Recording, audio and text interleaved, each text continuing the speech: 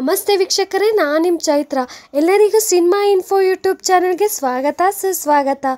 ವೀಕ್ಷಕರೇ, ನಮ್ಮ ಸಿನಿಮಾ ಸಮಾಚಾರ ವಿ ಚೈತ್ರ ಪ್ರೋಗ್ರಾಮ್ನಲ್ಲಿ ಇವತ್ತು ನಾನು ನಿಮಗೆ ನಮ್ಮ ಸಿನಿಮಾ ಇಂಡಸ್ಟ್ರಿಯ ಮೊದಲ ನಾಯಕ ನಟರಾದ ದಿವಂಗತ ಎಂ ವಿ ಸುಬ್ಬಯ್ಯ ನಾಯ್ಡು ಅವರ ಸಿನಿಮಾ ಜರ್ನಿ ಹಾಗೂ ಅವರ ಬಗ್ಗೆ ನಿಮಗೆ ತಿಳಿಯದ ಒಂದಿಷ್ಟು ಮಾಹಿತಿನ ನಾನು ನಿಮಗೆ ತಿಳಿಸ್ತೀನಿ.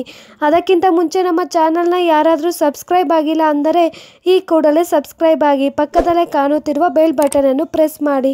ಮುಂದೆ ನಾವು ಮಾಡುವ ಎಲ್ಲ ವಿಡಿಯೋಸ್ ನೋಟಿಫಿಕೇಶನ್ ಬರುತ್ತದೆ. ನೀವು ನೋಡಬಹುದು. ವೀಕ್ಷಕರೇ, ಎಂ ವಿ ಸುಬ್ಬಯ್ಯ ನಾಯ್ಡು ಅವರು ಮೈಸೂರು ಜಿಲ್ಲೆಯ ಮಾದಾಪುರದಲ್ಲಿ ಸಾವಿರದ ಎಂಟುನೂರ ತೊಂಬತ್ತಾರರಲ್ಲಿ ಜನಿಸಿದ್ದರು. ಸುಬ್ಬಯ್ಯ ನಾಯ್ಡು ಅವರು ಕನ್ನಡದ ಮೊದಲ ನಾಯಕ ನಟ ಸದೆ ಸುಲೋಚನ ಚಿತ್ರದಲ್ಲಿ ನಾಯಕ ಇಂದ್ರಜಿತ್ತಿನ ಪಾತ್ರ ವಹಿಸುತ್ತಿದ್ದ ದಿವಂಗತ ಎಂ ವಿ ಸುಬ್ಬಯ್ಯ ನಾಯ್ಡು ಅವರು ಕನ್ನಡದ ರಂಗಭೂಮಿ ಮತ್ತು ಚಲನಚಿತ್ರದ ಅಭಿಜಾತ ಕಲಾವಿದರಲ್ಲಿ ಒಬ್ಬರು. ರಂಗಭೂಮಿಯಲ್ಲಿ ಅನೇಕ ಪ್ರಯೋಗಗಳು ನಡೆಸುತ್ತಿದ್ದವರು. ರಂಗಭೂಮಿಗೆ ಶಿಸ್ತು ಮತ್ತು ಗ್ಲಾಮರ್ ತಂದುಕೊಟ್ಟವರು. ರಂಗಭೂಮಿಯ ಸೆಳೆತದಿಂದಾಗಿ ಅವರಿಗೆ ಇನ್ನೂ ಬಾಲ್ಯ ವ್ಯವಸ್ಥೆಯಲ್ಲಿದ್ದ ಚಲನಚಿತ್ರರಂಗದಲ್ಲಿ ಹೆಚ್ಚು ತೊಡಗಿಸಿಕೊಳ್ಳಲು ಆಗಲಿಲ್ಲ. ಆದರೆ ಇವರು ದಿನವೂ ಚಿತ್ರರಂಗದಲ್ಲಿ ಅಭಿನಯದ ಶೈಲಿ ಒಂದು ರೂಪಿಸಿದವರು. ಅವರ ಪುರಾಣ ಪಾತ್ರಗಳ ಅಭಿನಯಕ್ಕೆ ನೀಡಿದ ಹೊಸ ಬಗೆಯ ಶೈಲಿಯು ಮುಂದೆ ಅನೇಕ ನಟರ ಮೇಲೆ ಪ್ರಭಾವ ಬೀರಿತೆಂದು ಹೇಳಲಾಗುತ್ತದೆ. ಅವರ ಬದುಕು ಅನೇಕ ನಾಟಕೀಯ ತಿರುವುಗಳ ಕಥಾಂತರದ ಸಿನಿಮಾ ತಂತಿದೆ. ಬಳಿಕ ಹೆಗ್ಗದೇವನ ಕೋಟೆಯ ಸಹೋದರ ಮಾವನ ಮನೆಯಲ್ಲಿ ಎಮ್ಮೆ ಕಾಯುವ ಕೆಲಸ.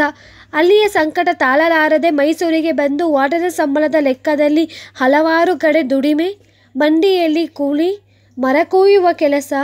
ಇದರ ನಡುವೆ ಕರಡಿ ಮನೆ ಸೇರಿ ಅಂಗ ಸಾಧನೆ ಸಂಗೀತದ ಮೇಷ್ಟ್ರು ಎಂ ವಿ ಮಾತಪ್ಪನವರ ಬಳಿ ಸಂಗೀತ ಮತ್ತು ಅಭಿನಯದಲ್ಲಿ ತರಬೇತಿ. ಅಲ್ಲಿಂದಾಚೆಗೆ ಕಲಾ ಸೇವೆಗೆ ಬದುಕು ಮುಡಿಪು ಮೈಸೂರಿನ ಶಾಕುಂತಲ ಕಂಪನಿ, ತುಮಕೂರಿನ ಮನೋಹರ ನಾಟಕ ಮಂಡಳಿ ಗುಬ್ಬಿ ಕಂಪನಿಗಳಲ್ಲಿ ನಟರಾಗಿ, ಪರ್ವಧರ್ಮನಾಗಿ ಬಂದವರು. ಸಾವಿರದ ಒಂಬೈನೂರ ಮೂವತ್ತೆರಡರಲ್ಲಿ ತಮ್ಮ ಸ್ವಂತ ಕಂಪನಿ ಸಾಹಿತ್ಯ ಸಾಮ್ರಾಜ್ಯ ನಾಟಕ ಮಂಡಳಿ ಸ್ಥಾಪನೆ.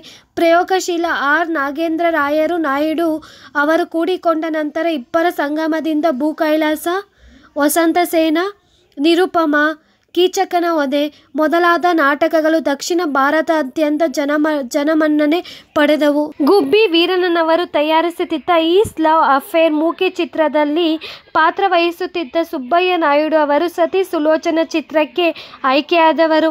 ಜೊತೆಗೆ ಆರ್ ಎನ್ ಸಂಗೀತ ನಿರ್ದೇಶಕ ನಟರಾಗಿ ಜೊತೆಗಿದ್ದವರು. ಚಿತ್ರದಲ್ಲಿ ಮಂಡೋದರಿಯ ಪಾತ್ರ ನಟಿ ಲಕ್ಷ್ಮೀಬಾಯಿ ವಹಿಸುತ್ತಿದ್ದವರನ್ನೇ ಮುಂದೆ ನಾಯ್ಡು ಅವರು ವರಿಸಿದರು ಇದೇ ಚಿತ್ರದಲ್ಲಿ ನಟಿಸಿದ ಆಕೆಯ ಸಹೋದರಿ ಕಮಲಬಾಯಿಯವರನ್ನು ಆರ್ ಎನ್ ಆರ್ ಮದುವೆಯಾದರು. ನಾಯ್ಡು ರಾಯರು ಅಣ್ಣ ತಮ್ಮಂದಿರಂತೆ ಶ್ರೀ ಸಾಹಿತ್ಯ ಸಮಾಜ ಮಂಡಳಿಯನ್ನು ಹದಿನೇಳು ಕಾಲ ಮುನ್ನಡೆಸಿ ಕೊನೆಗೆ ಬೇರೆಯಾದವರು ನಾಯ್ಡು, ರಾಯರು ಜೋಡಿ ಚಲನಚಿತ್ರರಂಗದಲ್ಲಿ ಉತ್ತಮ ಪ್ರಯೋಗಗಳನ್ನು ನಡೆಸಿತ್ತು. ತೆಮಿಳು ಚಿತ್ರದ ನಿರ್ಮಾಪಕರು ಪರಿಚಯವಿದ್ದ ಕಾರಣ ಆರ್ ಎನ್ ಆರ್ ಒಡನೆ ಹಾಗೂ ಗೆಳೆಯ ನಾಯ್ಡು ಅವರು ಪಾಲುದಾರಿಕೆಯಲ್ಲಿ ಚಿತ್ರ ನಿರ್ಮಾಣಕ್ಕೆ ಇಳಿದರು. ಸಾವಿರದ ಒಂಬೈನೂರ ನಲವತ್ತ ಒಂದರಲ್ಲಿ ತಯಾರಾದ ವಸಂತ ಸೇನಾ ಚಿತ್ರದಲ್ಲಿ ನಾಯ್ಡು ಅವರು ಚಾರುದತ್ತನ ಪಾತ್ರ ವಹಿಸಿದರೆ ಆರ್ಯನ ಶಂಕರನ ಪಾತ್ರಕ್ಕೆ ಹೊಸದೊಂದು ತಿರುವು ನೀಡಿದರು. ಬಳಿಕ ಎಂ ವಿ ಎಸ್ ಆರ್ ಜೋಡಿಯು ಎ ವಿ ಎಂ ಸಂಸ್ಥೆಯ ನೆರವಿನೊಂದಿಗೆ ತಯಾರಿಸಿದ ಸತ್ಯ ಹರಿಶ್ಚಂದ್ರವು ಹೊಸದೊಂದು ಇತಿಹಾಸವನ್ನೇ ಬರೆಯಿತು. ಸುಬ್ಬಯ್ಯ ನಾಯ್ಡು, ಹರಿಶ್ಚಂದ್ರನ ಪಾತ್ರ ಮತ್ತು ರಾಯರು ವಿಶ್ವಮಿತ್ರನ ಪಾತ್ರ. ಅಭಿನಯ ಜನರ ಮೇಲೆ ಮೋಡಿಯೇ ಮಾಡಿತ್ತು. ಇದು ರಾಯರ ಮೊದಲ ಅಧಿಕೃತ ನಿರ್ದೇಶನದ ಚಿತ್ರ. ಕೊನೆಯದಾಗಿ ಅವರಿಬ್ಬರು ಒಟ್ಟಾಗಿ ದುಡಿದ ಚಿತ್ರ ಮಹಾತ್ಮ ಕಬೀರ, ಸಾವಿರದ ಒಂಬೈನೂರ ನಲವತ್ತೇಳು.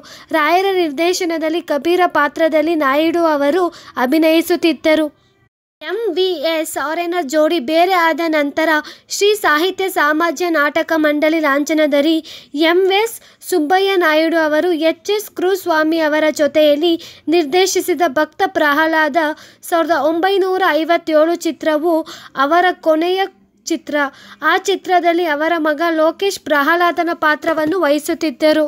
ಅದು ನಿರ್ದೇಶಕ ವಿ. ಸೋಮಶೇಖರ್ ಅವರು ಚಿತ್ರರಂಗಕ್ಕೆ ಪ್ರವೇಶ ಪಡೆದ ಚಿತ್ರವೂ ಹೌದು. ನಾಯ್ಡು ಅವರು ನಾಗೇಂದ್ರ ರಾಯರು ರಚಿಸಿದ ಭೂ ಕೈಲಾಸದ ರಾವಣನ ಪಾತ್ರಕ್ಕೆ ವಿಷಾದವಾದ ತಿರುವು ನೀಡಿದರು. ರಾವಣನ ಪಾತ್ರಕ್ಕೆ ಅಬ್ಬರದ ಅಭಿನಯ ಬೇಕೆಂದು ಅಂದಿನ ಸುಕೃತಿ ನೀತಿ. ಆದರೆ ನಾಯ್ಡು ರಾಯರು ಜೋಡಿಯಲ್ಲಿ ರಾವಣ ಒಬ್ಬ ಮಾನವೀಯ ಗುಣದ ಚಕ್ರವರ್ತಿಯಾಗಿ, ತಾಯಿಗಾಗಿ ಆತ್ಮಲಿಂಗವನ್ನೇ ಹುಡುಕಿ ತರುವ ಭಾವುಕ ಮಗನಾಗಿ ಪರಿವರ್ತನೆಗೊಂಡಿದ್ದ. ಮುಂದೆ ತೆಲುಗಿನಲ್ಲಿ ಈ ಚಿತ್ರ ತಯಾರಾದಾಗ ಸುಬ್ಬಯ್ಯ ನಾಯ್ಡು ಅವರೇ ಪಾತ್ರವಹಿಸಿದರು ರಾಜ್ ಅಭಿನಯದ ಭೂ ಕೈಲಾಸ ರಾವಣನು ನಾಯ್ಡು ಅವರ ಎರಕದಲ್ಲೇ ಮೂಡಿಬಂದವನೇ ಆಗಿದ್ದಾನೆ. ಆ ಚಿತ್ರದಲ್ಲಿ ರಾಜ್ ಅವರ ಅಭಿನಯ ಮನಮುಟ್ಟುವಂತಿದೆ.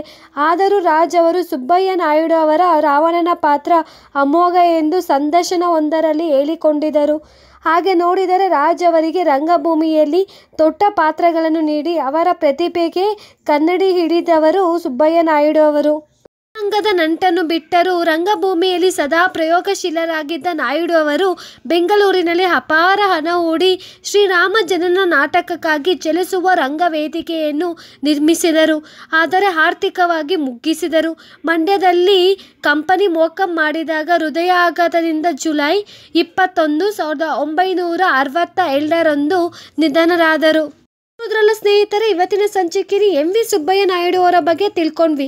ಹಾಗೆ ಮುಂದಿನ ಸಂಚಿಕೆಯಲ್ಲಿ ಮತ್ತೊಬ್ಬರ ಬಗ್ಗೆ ನಾನು ನಿಮಗೆ ತಿಳಿಸ್ತೀನಿ. ಅಲ್ಲಿ ತನಕ ನಮ್ಮ ಚಾನಲ್ನ ನೋಡ್ತೀರಿ. Signing off Fever's Chaitra. Thanking you